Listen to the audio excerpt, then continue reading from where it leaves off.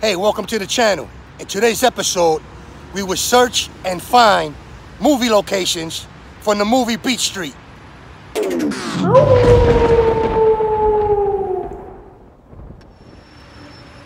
Today we will not focus on the actors. Instead, we'll be focusing on the movie locations and the clues that they have left behind 50 years later.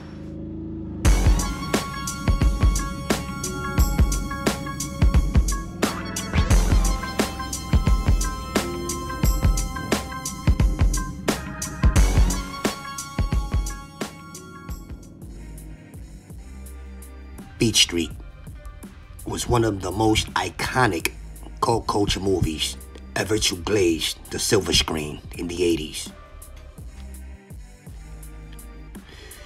The movie came at a time when everybody was ignoring the problems the Bronx was undergoing. In fact, you can tell that even the characters in the movie were ignoring their poverty. The movie is centered around a time when hip hop was just making its mark on a worldwide scale. Before Beat Street, it was just in the streets of the Bronx, in the streets of New York. The backbone of hip hop comes in the form of graffiti, MCing, and DJ, of which all three were displayed in this movie. The movie Beat Street captures not only struggle, but it catches the birth of hip hop as well. In this scene, Ramo's father is clearly upset that Ramo chooses to spend his time with his art and graffiti. Okay, so you familiar with the movie Beat Street, right? Yep. And you pointed out Ramo's father was on this window and he was throwing a spray can. telling- Ves a Ali, tú vas a la 138 y lo encuentras allí en la 138, Ali. Oh yeah? Yeah. You be on 138?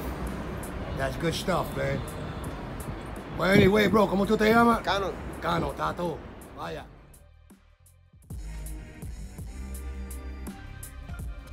As I return back to the movie locations 50 years later, I am in awe as graffiti is the new hieroglyphics.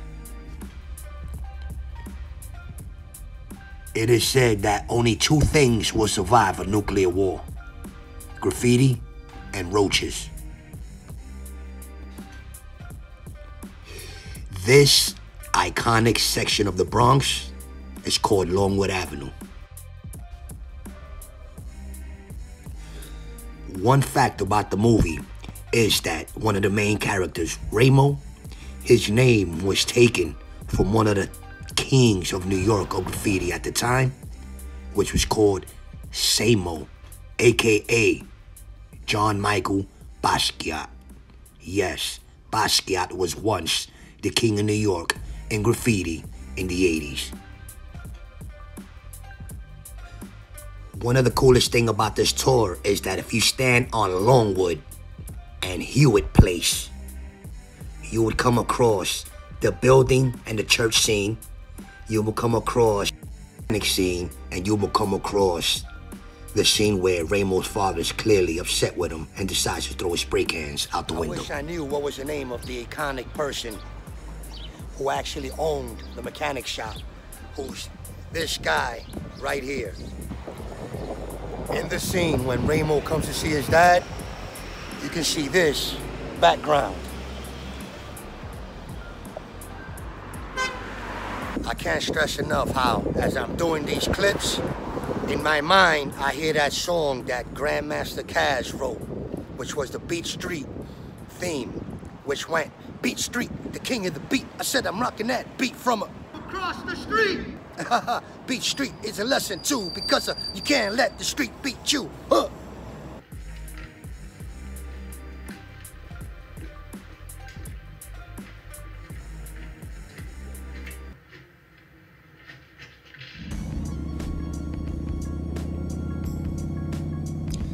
Heading out to my next location, I had to come this way. This little area of the Bronx was kind of like a pilot program in 1980. These were the first houses in the whole zip code. These houses went for about ten to twelve thousand dollars, of which today they average about two three hundred thousand. Many folks called it the village, many of us around the way called it Little Puerto Rico.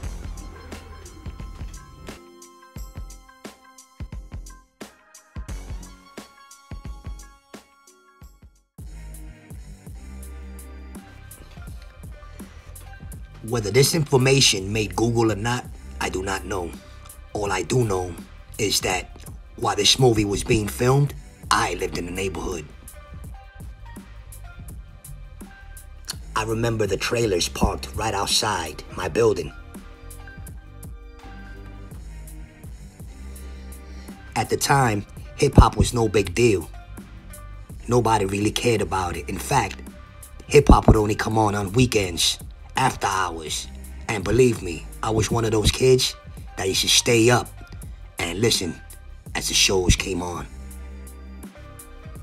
The only way that we can fulfill that hunger for hip hop was to pop a tape into your radio and record the entire session.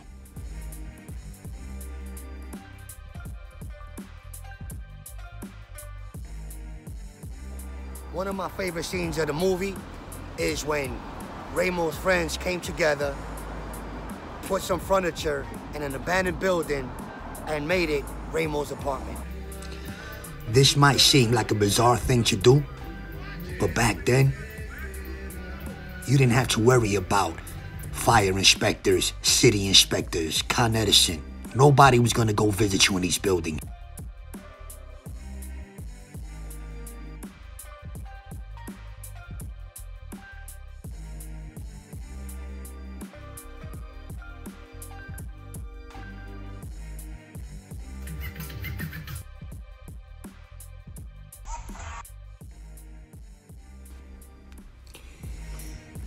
The iconic artist of these sculptures. His name is John Ahearn, which was twin brother of Charlie Ahearn, which directed Wild Style, the movie, just one year earlier. There are times when I walk among these streets with the eye of the 80s, meaning that I could look at a piece of property and see what it was, not what it is now.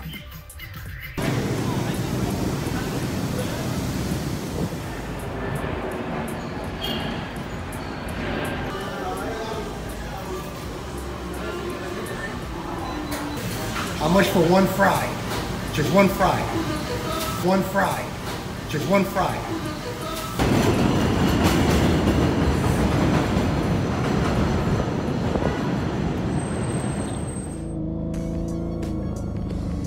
There was a couple of things that was happening around the same time Beat Street came out. The dismantling of street gangs, aka street soldiers. It became replaced with graffiti crews, and dance crews. And also across town, there was a new genre being born also. We know it now as freestyle music. The fact that the bass of the beat came from planet rock made it very hard to distinguish it as its own genre, so they called it Latin hip hop. Salsa was also making an explosion in New York City.